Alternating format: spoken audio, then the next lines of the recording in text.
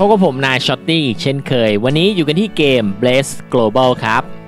สำหรับเกมนี้มาในรูปแบบ MMO นะครับ ก็ทำมาจากเกม Blaze ออนไลน์บน PC นั่นแหละครับ แต่ว่าในเกมเนี้ยก็จะมีทั้งเวอร์ชัน PC แล้วก็มือถือด้วยนะ ส่วนวิธีการเล่นก็จะเป็นแนวออโต้ MMO เลยครับ คลิกปั๊บก็เดินปุ๊บสู้อัตโนมัติ มีบอทมีอะไรให้ มีกิจกรรมประจำวันให้ทำค่อนข้างเยอะ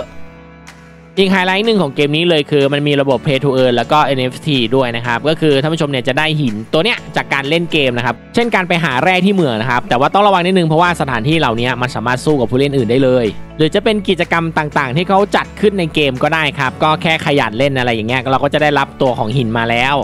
เมื่อเรามีหินแล้วเราก็สามารถเอาไปแลกเปลี่ยนเป็นเหรียญเบล็กได้นะครับเหรียญเบล็กนี่มันก็คล้ายๆกับเหรียญประจำเกมนี้เนี่ยแหละครับแล้วมันก็สามารถเอาไปสวอปแลกเปลี่ยนเป็น USDT ที่เป็น stable coin ได้นะครับแล้วเอาไปซื้อพวก NFT ต่างๆ ได้หรือเราจะเอาเหรียญ Bless เนี่ยไปมินต์นะครับ เปิดกาชาออกมาเป็น NFT เลยก็ได้ ซึ่งมันก็จะมีหลากหลายส่วนมากเลย เช่น พวกอุปกรณ์นะครับ สัตว์เลี้ยง สัตว์ขี่อะไรแบบนี้เป็นต้นครับ สำหรับเกมนี้จะมีด้วยกันทั้งหมด 5 อาชีพนะครับ ก็อาชีพแรก Berserker นะครับ พลังป้องกันค่อนข้างสูงเลยทีเดียว และดูด้านล่างครับ คือจะมีการ fix เพศในหลาย ๆ อาชีพด้วยนะครับ ต้องเช็คดูดีๆ อาชีพที่ 2 นักเวทนะครับ นักเวทนี่คือจะโจมตีค่อนข้างรุนแรงนะครับ แล้วก็มีอาณาเขตเป็นวงกว้างนะครับ และสามารถเลือกได้ทั้งเพศชายและเพศหญิง อาชีพที่3 Ranger นะครับอันนี้คือเป็นนักธนูยิงจากระยะไกลนั่นเองนะครับค่าพลังโจมตีค่อนข้างสูงมากเลยทีเดียวครับและก็สามารถเลือกได้ทั้งเพศชายและหญิง อาชีพต่อมาครับอัศวินศักดิ์สิทธิ์หรือว่าพาลาดินนะครับพลังป้องกันค่อนข้างสูงนะครับแต่ว่าต่ำกว่าเบอร์เซอร์เกอร์หน่อยหนึ่งนะแต่ที่ได้มาก็คือเรื่องของการสนับสนุนนั่นเองนะครับสามารถรักษาได้แล้วก็คุ้มกันเพื่อนได้เป็นอย่างดี ส่วนอาชีพสุดท้ายนักบวชหรือว่าพรีสนั่นเองนะครับ ก็จะเป็นผู้สนับสนุนปาร์ตี้เป็นหลักนะครับ ทั้งการฮิวและการบัฟครับ เมื่อเลือกอาชีพได้แล้วนะครับ ก็มาทำการแต่งตัวละครได้นะครับ ซึ่งเกมนี้ก็จะแต่งได้บริเวณใบหน้าครับ เช่นดวงตาคิ้วเคิ้วจมูกปากอะไรเงี้ย แต่ว่าส่วนทรงองเอวนมใหญ่ปรับไม่ได้นะครับ ส่วนสีก็เต็มที่เลยนะครับ มันมีเฉดด้วยนะอะอย่างเช่น ด้านบนเป็นยังไง ด้านล่างเป็นยังไงอะไรเงี้ย มันมีแบบสีไล่ระดับอะไรเงี้ยเป็นต้น ส่วน skin นะครับ อันนี้คือจะเป็นเรื่องของสีผิวนะครับ สำหรับวิธีการเล่นนะครับก็คือให้คลิกบริเวณด้านขวาบนเท่านั้นเองครับตัวละครก็จะเดินให้สู้ให้อะไรให้นะครับส่วนเรื่องของกราฟิกการต่อสู้ก็ตามที่เห็นเลยนะฮะก็ถือว่าใช้ได้นะครับและที่ผมชอบที่สุดเลยก็คือการแปลงร่างเป็นมังกรแล้วก็ต่อสู้นั่นแหละครับสำหรับการกลิ้งหลบก็มีนะครับท่านผู้ชมดูด้านขวาล่างเห็นไหมเออมันสามารถกลิ้งหลบได้ 3 ครั้งติดกันนะครับเผื่อบางทีเราเจอบอสไงบอสมีสกิลอาณาเขตการโจมตีเนาะที่เป็นสีแดงๆบนพื้นนั่นแหละจะได้แบบว่าเดินหลบหรือไม่ก็ dash หลบเอาได้ง่ายๆนั่นเองครับ แต่เกมนี้มันจะมีหีบสมบัติแอบอยู่ด้วยนะครับ แล้วมันมีเยอะมากเลยนะ ถ้าเกิดท่านผู้ชมเนี่ยคลิกบริเวณด้านขวาบน auto quest เนี่ยมันก็จะไม่ได้เก็บของอะไรพวกนี้ให้ไงครับ เพราะฉะนั้นก็ถ้าเกิดว่างๆลองมาสำรวจหีบดูหน่อยก็แล้วกันครับเผื่อเจอของดี แต่ถ้าที่ผมลองสำรวจดูแล้วเนี่ย ผมเจอแต่เงินซะเป็นส่วนใหญ่ แล้ววันหนึ่งมันก็สำรวจได้แค่ประมาณ 5 กล่องเท่านั้น เพราะฉะนั้นเออสำหรับคนขี้เกียจก็ปล่อยบอทไปเหมือนเดิมนั่นแหละ ส่วนวิธีการเล่นกับเพื่อนเกมนี้ก็มีเนาะแล้วก็ทำได้ง่ายๆเลยท่านผู้ชมดูด้านขวาตรงนี้มันมีระบบทีมอยู่เห็นไหมเออเราสร้างทีมเลยก็ได้นะครับ เมื่อเราสร้างทีมแล้วเนี่ยมันก็จะสามารถชวนผู้เล่นอื่นมาได้ โดยการกดตัวบวกแบบนี้เห็นไหมครับซึ่งมันก็ชวนได้ทั้งผู้เล่นใกล้เคียงคนในกิลด์แล้วก็เพื่อนด้วยสำหรับเพื่อนกับกิลเนี่ยจะแอบอยู่ที่ด้านขวาบนนะครับเมื่อเราแตะมาแล้วดูด้านล่างเห็นไหมมันจะมีคำสั่งสังคมอยู่นะครับท่านผู้ชมอยากจะหาพวกหาเพื่อนอะไรก็คือสามารถมาเพิ่มได้ที่นี่เลยครับ ส่วนระบบกิลนะครับจะอยู่บริเวณนี้นะครับก็ไม่ใกล้ไม่ไกลกับระบบเพื่อนสักเท่าไหร่นะครับอันนี้ก็แนะนำว่าให้หาอยู่ด้วย เพราะว่ามันมีกิจกรรมให้เราเข้าร่วมนะครับได้รับของรางวัลฟรีเป็นจำนวนมากเลยนะครับแล้วมันก็จะมีแบบการอัพกงอัพเกรดด้วยนะ แต่ว่าถ้าเกิดเป็นสมาชิกอัพเกรดไม่ได้หรอกต้องให้พวกหัวหน้าอะไรเงี้ยอัพเกรดพวกสิ่งก่อสร้างของกิลเราครับมันจะได้แบบว่าเพิ่มโบนัสเกี่ยวกับกิจกรรมของกิลต่าง ๆ นั่นเองนะครับเพราะฉะนั้นอย่าลืมมาเข้ากิลแล้วก็เข้าร่วมทุกกิจกรรมนะครับ ส่วนเรื่องของการดีลของหรือว่า trade ของนั้นไม่มีนะครับมันจะมีแค่เรื่องของการประมูล การซื้อการขายผ่านตลาดกลางอะไรอย่างเงี้ยนะครับก็ทำได้นะเผื่อแบบเราจะไปซื้อของจากผู้เล่นอื่นเข้ามาดูได้ หรือเราจะขายก็ก็เข้ามาที่ขายได้ แต่ว่ามันไม่ใช่ของทุกอย่างที่จะขายได้นะ มีแค่บางรายการเท่านั้น ถ้าอันไหนขายได้มันจะปรากฏอยู่ที่ด้านซ้ายครับ เมื่อเราเดิน quest ไปสักพักหนึ่งครับก็จะติดเพดานเลเวลครับยังไม่สามารถทำ quest ต่อไปได้ ก็ให้ไปทำพวก quest ย่อย quest รองอะไรพวกนี้ก่อนนะครับหรือเราจะไปทำกิจกรรมก็ได้นะครับ มันจะมีอยู่ด้านขวาบนที่เป็นขีด 3 ขีด แล้วก็เนี่ยครับบรรทัดนี้นะก็จะมีหลายส่วนนะครับ อย่างเช่นอันนี้ครับแคมเปญนะครับก็จะมี 3 จุดย่อยด้วยกันครับอันแรกเป็นการล่าที่ป่าเถื่อน อันนี้คือง่ายๆครับมันเป็นจุดที่เอาไว้ใช้ในการปล่อยบอทนั่นเองนะครับเดี๋ยวผมลองดูสักจุดหนึ่งแล้วกันลองไปดูจุดนี้สิ กดนำทางได้เลยนะครับเดี๋ยวเดี๋ยวตัวละครจะวาร์ปให้อะไรให้ แล้วก็ต้องระวังนิดนึงครับ คือในแผนที่นี้เนี่ยมันสามารถโจมตีกันได้นะครับ ก็คือต้องระวังนะฮะเวลาคนเขาเปิดหัวแดงอะคือคือเกมนี้เปิดหัวแดงได้ตรงนี้แหละเนี่ยเนี่ยเนเออมันเห็นไหมครับก็คือถ้าเกิดเจอคนเจออะไรเงี้ยมันก็จะหวดกันได้เลยนี่ต้องระวังนะครับ พยายามหาคนหรือว่าหาจุดบอทที่แบบว่าชื่อคนอื่นเป็นสีเขียวอะถ้าชื่อเป็นสีเขียวก็คือคนที่เขาเป็นมิดนั่นเองครับคือจะไม่โจมตีผู้เล่นกันเองอะไรแบบนี้ เพราะนั้นก็แนะนำให้ไปตั้งตี้มาให้ครบ 5 คนก่อนนะ เพราะว่ากิจกรรมนี้เนี่ยควรจะอยู่เป็นปาร์ตี้จะได้รับ EXP จำนวนมากนั่นเองครับแคมเปญส่วนต่อมาคือการลงเหมืองไปขุดฟาร์มแร่นั่นเองครับ แต่เขาต้องการพลังอย่างต่ำคือ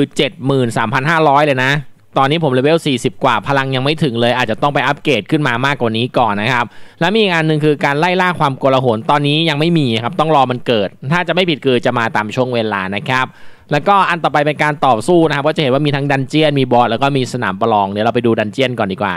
ซึ่ง dungeon เนี่ยมันจะเป็นการลง dungeon แบบ co-op นั่นเองนะครับซึ่ง dungeon เนี่ยมันลงได้สูงสุด 5 คนนะครับงั้นก็เดี๋ยวผมลองไปดูทีมหน่อยสิโอ้คนเขาสร้างห้องกันเต็มเลยอะ่ะเออเดี๋ยวผมลองเข้าไปแจมสักคนหนึ่งกดตัวนี้เลยนะครับเพื่อที่จะเข้าไปแจมนะครับหรือถ้าเกิดว่าเราอยากจะสร้างเองก็ได้ด้านล่างเห็นไหมครับเออแล้วเราก็สามารถที่จะ add เพื่อนอะไรกันเข้ามาในปาร์ตี้ได้เลยสูงสุด 5 คน หรือจะจับคู่อัตโนมัติด้านบนก็ได้ครับชิวๆ เมื่อเข้ามาแล้วนะครับก็อย่าลืมเปิดบอทด้วยนะ ก็คือจะคลิกบริเวณ quest ก็ได้นะครับ หรือว่าจะคลิกด้านซ้ายล่างก็ได้ แต่แนะนำว่าให้คลิกบริเวณ quest จะดีกว่า เพราะว่าเดี๋ยวมันจะเดินไปหา monster กลุ่มอื่นให้ด้วยนะฮะบรรยากาศการต่อสู้ก็ก็ลง dungeon นั่นแหละเนาะแต่ว่าคราวนี้เราไม่ได้มาคนเดียวแล้วครับมา 5 คนครับผม ก็ชิวๆกันไปครับเดี๋ยวเราไปดูหน้าบอสเลยดีกว่าตรงนี้คงไม่มีอะไรพิสดาร ผ่านไปประมาณเกือบ 10 นาทีครับ กว่าจะเจอบอสครับ คืออาจจะเป็นเพราะว่า monster มันถึกด้วยแหละ มันใช้เวลาในการสู้ค่อนข้างนาน ถ้าเกิดเราดูแผนที่ด้านซ้ายบนนะครับ จะเห็นว่ามันมีหลายห้องนะ แล้วมีรองบอสด้วย แต่ก็ไม่ได้เท่าไหร่ คือยืนปล่อยบอทโง่ๆก็สบายๆครับ ไม่มีปัญหาอะไร แต่ถ้าเป็นบอสตัวนี้ก็คือเป็นบอสประจำดันเจียน ท่านผู้ชมน่าจะเห็นแล้วเมื่อกี้ ไม่หลบครึ่งหลอดนะครับ ไม่หลบครึ่งหลอด เพราะฉะนั้นก็อย่าปล่อยบอทเพลินก็แล้วกันนะครับ ไม่งั้นชีวิตอาจจะหาไม่นะฮะนอกจากนี้บอสยังมีการปล่อยหินออกมาด้วยนะครับ ถ้าเกิดอันนี้เคลียร์ได้ก็เคลียร์นะ ถ้าเกิดว่าเราไม่เคลียร์หินเนี่ย เดี๋ยวบอสมันจะเรียกสกิล ulti แล้ว เดี๋ยวเราจะเจ็บนี่เห็นไหมครับ เนี่ยเนี่ยเนี่ยมันทั้งจอแบบเนี้ย คือผมตีไม่ทันไง ไม่รู้จะหลบยังไงเห็นไหมครับ แตกเลย แต่ไม่เป็นไรนะ ถ้าเกิดเราตายเนี่ยมันสามารถฟื้นคืนชีพได้นะครับ ไม่ว่าจะเป็นบริเวณใกล้เคียง หรือว่าใช้ไอเทมก็ได้อะไรแบบนี้เป็นต้นนะครับส่วนกิจกรรมต่อมาจะเป็นล่าบอสแต่ว่าอันนี้เขาจะมาตามช่วงเวลานะครับ อันนี้ใครอยากจะล่าก็ตั้งนาฬิกาไว้กันละกันและอีกอันหนึ่งคือสนามประลองการ PVP นั่นเองครับ มีเยอะมากเลยไม่ว่าจะเป็นสู้กับ AI 2v2 นะครับ ซึ่งอันนี้มาตามช่วงเวลาอีกแล้วนะครับ แล้วก็มี Dark Knight Royal เอาชีวิตรอดในสนามรบนะครับ มาตามช่วงเวลาอีกแล้วนะครับ แล้วก็มีสมรภูมิปาตนา อันนี้ก็มาตามช่วงเวลาคือผมเข้าร่วมไม่ได้เลย มันเป็นเวลาผมไม่ว่างอะทำงานอะไรเงี้ยเนาะ อดเล่นนะฮะ และอีกอันหนึ่งคือการประทะกันของคลาสนะครับ อันนี้น่าสนใจก็คือมันจะเอาคลาสเดียวกันมาสู้กันนั่นเอง อย่างเช่น ผมเล่นเมดก็จะมีแต่เมดสู้กันนะครับ อันนี้ก็มาตามช่วงเวลาอีกแล้วครับท่าน งั้นเดี๋ยวผมเอาบรรยากาศการต่อสู้กับ AI ให้ดูกันละกันนะครับ คือเราสามารถบังคับเองก็ได้นะ ไม่ต้องใช้บอทก็ได้นะครับ ก็ถ้าเกิดช่วงแรกเนี่ยเริ่มการต่อสู้เนี่ยคู่ต่อสู้ก็จะใช้สกิลรัวๆๆเลยอะไรเงี้ยผมก็หลบก่อนละกันแล้วค่อยใช้สกิลทีหลังครับ เพราะยังไง AI ฝั่งตรงข้ามเขาไม่หลบอยู่แล้วเนาะแต่ทั้งนี้ทั้งนั้นนะฮะมันมีค่า BP นะครับหรือก็ค่าความเก่งเข้ามาเกี่ยวข้องนะฮะเพราะฉะนั้นก็ฝ่ายไหนที่มีค่า BP สูงกว่า ก็มีโอกาสชนะสูงกว่าเช่นเดียวกันนะครับ ส่วนกิจกรรมต่อมาเป็นการไต่หอคอยนะครับ ซึ่งลักษณะการต่อสู้ก็เหมือนเดิมแหละแต่อันนี้คือมันจะมีความยากขึ้นในแต่ละชั้นที่เล่นนะครับ แล้วก็ถ้าลงหอคอยอันนี้จะได้รับเงินกับหินตีบวกนะครับ แล้วก็อีกอันหนึ่งครับลานเพลิงนรก อันนี้ก็เป็นตีหอคอยเหมือนกันแต่ว่ามันจะมีบอสเฝ้าอยู่ไง ค่อยๆ ตีไปทีละระดับระดับนะครับ ก็ได้รับของที่ใช้ในการอัปเกรดตัวละครเช่นเดียวกันครับส่วนอันต่อมาปัญหาเชิงอำนาจของผมเปิดแค่อันเดียวคือบททดสอบกิลด์นะครับ ก็คือ guild boss นั่นเองนะครับ อย่าลืมไปช่วยกับเพื่อนๆในการตีบอสด้วยนะครับ ทีนี้เมื่อท่านผู้ชมเข้าร่วมกิจกรรมไปเยอะๆแล้วนะครับ ลองไปเช็คพวกด้านบนดูที่มันเป็นจุดแดงๆอะบางทีเขาแจกของมานะครับเยอะแยะมากมายจากกิจกรรมครับ โดยเฉพาะหินไอเนี้ยจำได้ไหม ที่เราเอาไปแลกเปลี่ยนพวก NFT หรือว่าแลกเปลี่ยนเหรียญได้อะเออแล้วคำถามต่อมาคือมันจะไปเปลี่ยนที่ไหนใช่ไหมครับให้ท่านผู้ชมเนี่ยเออเปิดกระเป๋า NFT ขึ้นมานะครับมันอยู่ตรงนี้นะ เมื่อเราเปิดขึ้นมาแล้วนะครับ มันจะมีคำสั่งเนี่ย Pocket Buff ยังไม่ถูกเชื่อม กดตัวนี้เลยก็ได้นะครับ แล้วมันจะดีดให้ไปที่หน้าจอแอป แต่ถ้าเกิดท่านผู้ชมยังไม่มีแอป Pocket Buff เนี่ย มันก็จะดีดไปอีกหน้าจอหนึ่งเพื่อให้เราดาวน์โหลดตัว Pocket Buff นะครับ เข้ามาติดตั้งในเครื่องก่อน ถ้าเกิดใครยังไม่มีก็ไม่เป็นไรดูด้านใต้คลิปก็ได้นะครับ ผมทิ้งลิงก์ไว้ให้หมดแล้ว ซึ่งหน้าตาแอปมันจะเป็นประมาณแบบนี้นะครับ ก็จะมีหลายหมวดเช่นหน้าแรกตอนนี้ก็คือมีเกมที่รองรับอยู่เกมเดียวคือเกมนี้เนาะแล้วก็จะมีพวกมาเก็ตเอาไว้ซื้อของต่างๆ ไง แล้วก็จะมี wallet อันนี้คือจะเป็นตัวกระเป๋าของเรานะครับ แต่ว่าเรายังไม่มีของนะเพราะว่าผมไม่มี NFT อะไรเลย ก็สามารถไปที่ market เพื่อซื้อได้เช่นเดียวกันเนาะไม่ว่าจะเป็นกล่องสุ่มหรือว่านู่นนั่นนี่เนี่ยลองดูกันล้วกัน ส่วนอันสุดท้ายเป็นโปรไฟล์ก็จะเป็นข้อมูลเกี่ยวกับตัวของเรานั่นแหละนะครับ แล้วมันสามารถ connect กับ stream ได้ด้วยนะ ในอนาคตคงจะรองรับอะไรเกี่ยวกับ stream หรือมั้ง แล้วก็สุดท้ายเป็น setting การตั้งค่าเท่านั้นเองก็ไม่ค่อยมีอะไรครับ ก็คือมีแค่การปรับภาษา ซึ่งมันไม่มีภาษาไทยอะก็เลยไม่รู้จะพูดอะไรแล้วเมื่อเราติดตั้งแอปเสร็จเรียบร้อยแล้วครับ กดปุ่มนี้นะครับ แล้วก็กดปุ่มขวานะครับ เดี๋ยวมันจะดีดแอปขึ้นมาอีกรอบนึง เสร็จแล้วท่านผู้ชมก็กดปุ่ม agree ได้เลยนะครับถ้าไม่มีอะไรผิดพลาดมันจะดีดกลับมาที่เกมครับแล้วก็จะมีตัวของเลขฐาน 16 อยู่ตรงเนี้ยนะมันก็จะเอาให้เราเห็นกันว่าตอนเนี้ยเราเชื่อมต่อได้เรียบร้อยแล้ว ถ้าเกิดท่านผู้ชมมี NFT เนี่ยมันก็จะปรากฏอยู่ตรงนี้แล้วล่ะ ถ้าไม่ปรากฏก็ลองปิดเกมเปิดใหม่ดูนะครับและสิ่งที่ท่านผู้ชมจะทำได้อีกอย่างหนึ่งเลยคือระบบสร้างนะครับมันคือการแลกเปลี่ยนหินนั่นแหละเอาหินกลายเป็นเหรียญ BLEC จำได้ใช่ไหมที่ผมอธิบายไปตั้งแต่ตอนต้นคลิปแล้วว่าว่ามันสามารถแลกเปลี่ยนไปไปมามาหากันได้นะครับ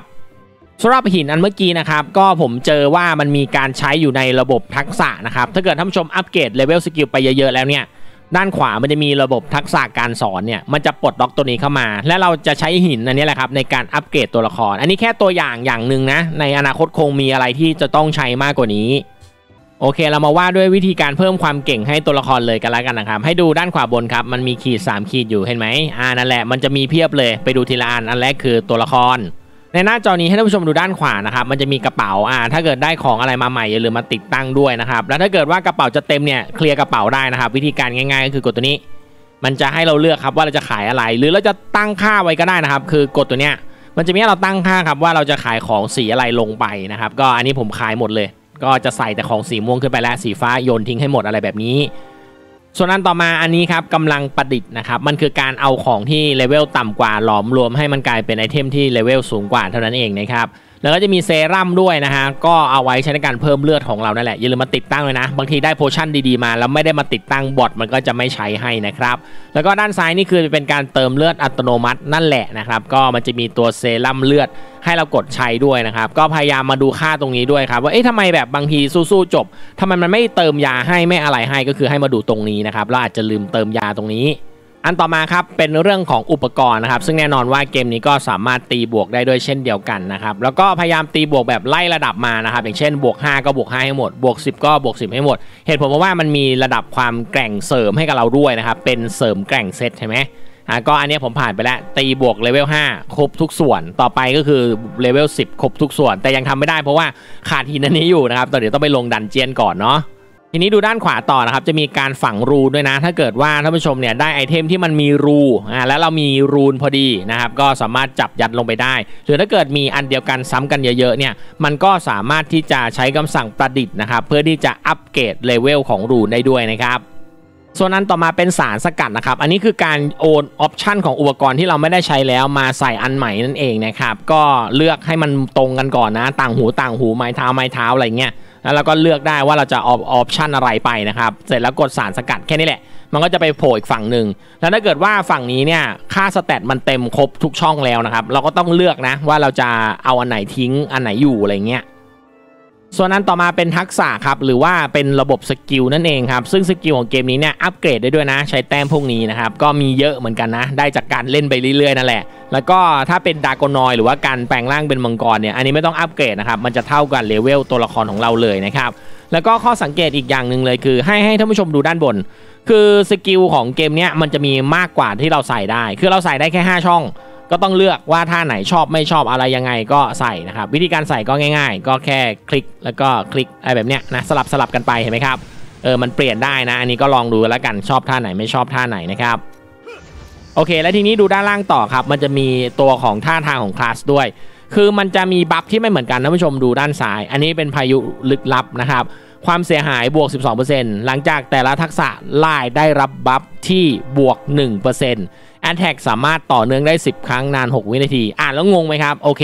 มันก็คือการ stack ทุกครั้งที่มีการร่ายเวทไปนั่นแหละ ยิ่งเราร่ายเวทไปเรื่อยๆเรื่อยๆเรื่อยๆเนี่ย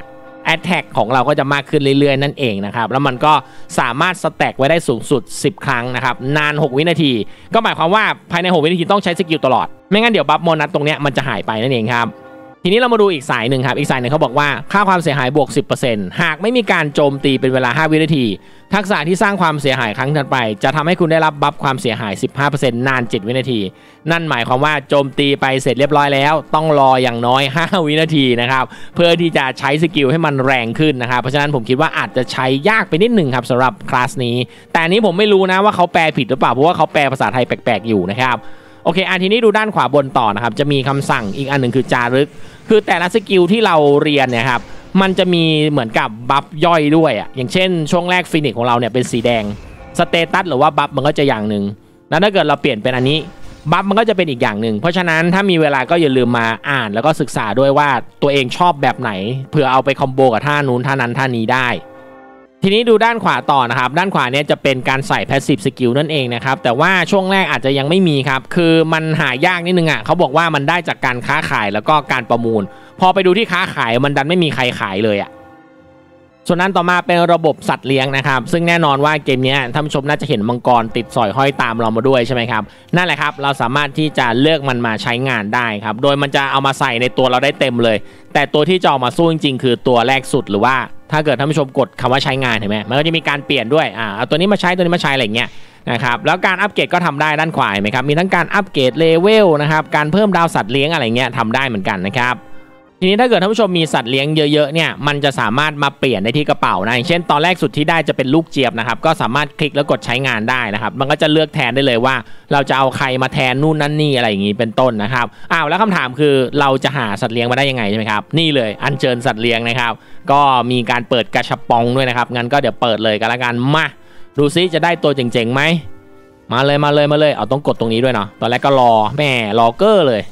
โอเค ผมได้สีม่วงมา 2 ตัวนะครับ ซึ่งเขามีการันตีบอกอยู่นะ ว่าต้องอัญเชิญเท่าไหร่ถึงจะได้สีม่วงหรือสูงกว่านะครับ น่าเสียดายที่ไม่ได้สีทอง ไอ้พวกนี้น่าจะเป็นสีทองนะเนี่ยเนี่ยที่หน้าตู้เนี่ย ส่วนต่อมาพาหนะนะครับหรือว่าสัตว์ขี่ประจำเกมนี้นั่นเองครับช่วงแรกท่านผู้ชมจะได้ม้าสงครามมาก่อน เล่นไปสักพักหนึ่งก็ได้อูฐทะเลทรายนะครับสามารถอัปเกรดได้เช่นเดียวกันดูด้านขวาบนเห็นไหมอัปเกรดได้ด้วยนะครับแล้วก็มี skin ด้วยนะนี่เป็นไงส่วนสัตว์ขี่เกมนี้ก็จริง ๆ มีหลากหลายนะครับแต่ว่าบางตัวมันอาจจะยังหาไม่ได้ในเกมนะครับก็ถ้าเกิดอยากรู้ว่าตัวไหนหามายังไงเนี่ยดูด้านขวาล่างก็ได้ มันจะมีเป็นจิ๊กซอว์อยู่กดคลิกเสร็จปั๊บมันจะมีบอก ถ้าไม่มีบอกแสดงว่ามันยังไม่มาครับต้องรอในอนาคต ส่วนเสริมอื่นๆของเกมนี้ก็คือจะมีระบบ skin ด้วยนะครับ ก็ skin เนี่ยที่ท่านผู้ชมเห็นนี่คือมันแจกฟรีมานะ มันมันมีให้เลือกด้วยนะครับ แต่ว่าผมเลือกอันนี้มาก็ตามที่เห็นนะแบบนี้เลยนะฮะแล้วถ้าเกิดอยากจะได้ skin อันอื่นนะครับ แล้วเราไม่รู้หาจากไหน ดูด้านซ้ายล่างได้ครับ มันมีบอกที่มาอยู่นะครับ ถ้าเกิดกดไปแล้วไม่เจออะไรเลย ก็แสดงว่ามันยังไม่มีนั่นเองนะครับ ส่วนนี้ได้จากแพ็คเปิดตัว อืมเติมเงินกันอีกแล้วสินะ แต่ก็เข้าใจได้ครับ เพราะว่าคอสตูมนี้ส่วนใหญ่ก็จะได้มาจากกิจกรรม หรือไม่ก็การเติมเงินนะครับ ก็ลองมาแอบส่องดูหน่อยแล้วกันเท่ๆสวยๆงามๆมีเยอะแยะ ส่วนนั้นต่อมาถ้วยรางวัล อันนี้เป็น achievement นั่นเองนะครับ ก็เข้ามาแล้วกดด้านซ้ายล่างรับของรางวัลทั้งหมดได้เลย ส่วนใหญ่มันจะเป็นเงินนะ ไม่ค่อยมีอย่างอื่นนะครับ แล้วก็จะมีบาซ่านี่คือจะเป็นร้านค้าที่ขายของในเกมนั่นเองนะครับ แล้วก็พวกแต้มกิจกรรมต่างๆ ที่เราไปเข้าร่วมมา มันก็จะอยู่ด้านซ้ายครับ เราก็ลองคลิกๆดูกันละกันครับ เรามีแต้มไหนเยอะก็แลกซะจบ ส่วนนั้นต่อมาการดำรงชีพ อันนี้คือระบบ life skill นั่นเองนะครับ คือมันจะมี 2 ประเภทด้วยกัน ประเภทหนึ่งคือเราต้องไปเก็บ อย่างเช่นอันเนี้ยคือไปรวบรวมสมุนไพรมานะครับ แล้วก็จะมีไอที่มันต้องเอามา craft อย่างเช่นอันนี้ก็คือการ craft ยาใช่ไหมครับอ่าว่าจะแบ่งเป็น 2 ประเภทแบบนี้อย่างนั้นเดี๋ยวผมลองไปตกปลาให้ดูกันแล้วกันนะครับ ไป ไปที่นี่ได้เลยนะครับ กดตรงนี้เลยสะพานเพอร์ซิรอส เมื่อเดินทางมาถึงแล้วครับ ปุ่มการตกปลาจะเด้งขึ้นมาเลยครับ ผมตกทีละสิบตัวเลยก็ได้นะครับ การตกก็ไม่ต้องทำอะไรเลย คือมันตกของมันเองอะเข้าใจใช่ไหมอ่าไม่ได้มี mini game อะไรนะครับส่วนนั้นต่อมาเป็นแกลเลอรี่นะครับ อันนี้คือเหมือนเป็นข้อมูลมอนสเตอร์หรือบอสอะถ้าเกิดว่าเราสู้กับมันบ่อยๆ เห็นไหมครับ มันสามารถมากดรับรางวัลได้นะ แล้วจะได้รับตัวของแต้ม status โบนัสเพิ่มเติมด้วย ส่วน setting นะครับก็จะอยู่บริเวณด้านขวาล่างตรงนี้นั่นเองครับ มันคือการตั้งค่านั่นแหละถามว่าปรับอะไรดี มันจะมีแค่ 2 อย่างที่ต้องพิจารณาคือกราฟิก